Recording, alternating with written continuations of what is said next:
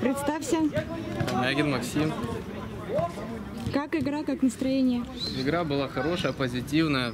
Все, что могли, реализовали. И всем спасибо. Вон, ребята сидят, молодцы, все старались. Пас, пас, все как нужно. Вот это было настоящее. что пожелаете своей команде и команде соперника?